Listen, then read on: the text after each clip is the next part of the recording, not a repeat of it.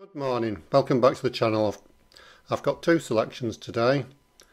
Uh, click the subscribe buttons below to get all the tips and give me a like and any comments.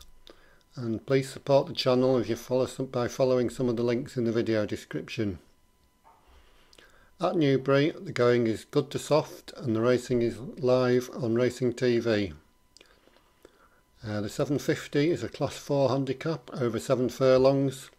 There's 9 runners and my selection is Dahies.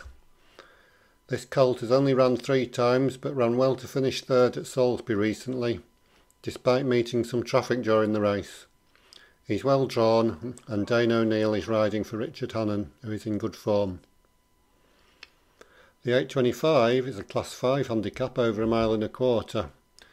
Nine runners again and I'm going for a double for the Hannon O'Neill combination with Graham.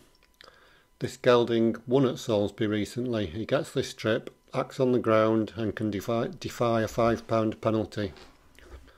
So just to reiterate, today's two selections at Newbury in the 750, Dahies, and at Newbury in the 825, Graham.